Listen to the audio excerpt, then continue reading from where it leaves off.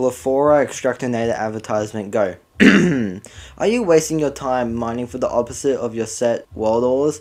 Well, don't waste any more time with the Chlorophyte Extractinator. This cheeky device can turn the average Crimtane into Demonite and your Platinum into Cobalt. Plus, it extracts extremely fast. Get the Chlorophyte Extractinator by mixing your normal Extractinator with 18 bars of Chlorophyte. Why the hell did I turn this into an advertisement?